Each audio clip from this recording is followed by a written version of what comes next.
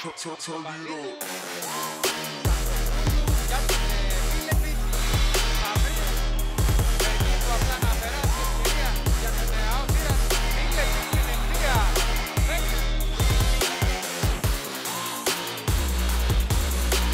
Φίλεπιτ, Φίλεπιτ θα πάρει το block out. επίπεδο σωστά, ούτε μπλοκ, ούτε υποδοχή, ούτε επίθεση. Είναι σαν να μην υπάρχουν. Βάλτε λίγο νεύρο, αποφασιστικότητα. Παναξιακό. Αρτακιανού. Δυνατό το χτύπημα και ο πόντος.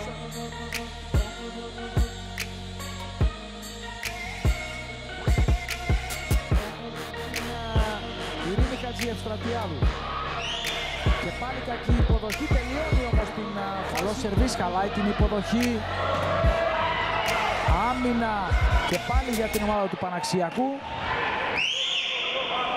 Απλώς να περάσει η μπάλα και αυτή τη φορά το πάει πάλι να εκδικητική της Αρτακιανού. Δεν μπορεί να βγάλει τον Αλίδη άσος, βγάζει την α, την κακομή την μπάλα.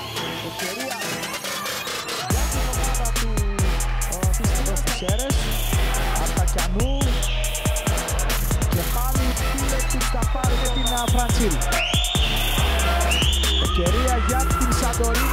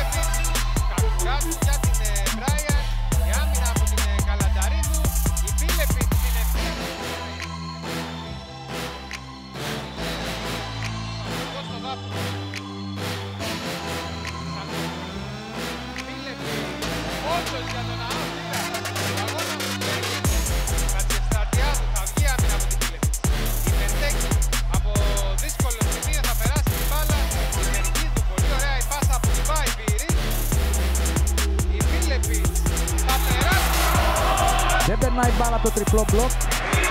Η Μαριαλένα η Αρτακιανού θα κάνει την πάσα γιατί δεν μπορεί και πάλι να τελειώσει τη φάση.